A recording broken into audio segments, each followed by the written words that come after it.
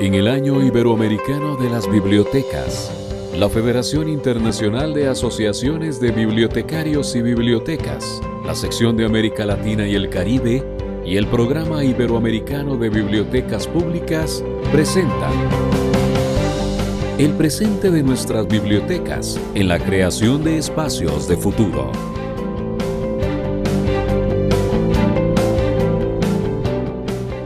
¿Qué tenemos en las bibliotecas?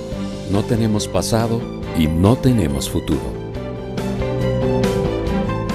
En la pasada conferencia iberoamericana de ministras y ministros de Cultura, realizada en 2019, el año 2021 fue declarado Año Iberoamericano de las Bibliotecas.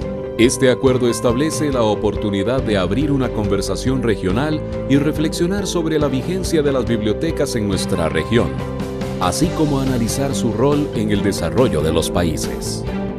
En el contexto de la pandemia y en medio de amplios y diversos retos en lo que el acceso a la información se refiere, cada uno de los diferentes tipos de bibliotecas se han reafirmado como espacios necesarios, confiables y garantes no solamente de este acceso, más aún del desarrollo de los derechos culturales a los habitantes de la región.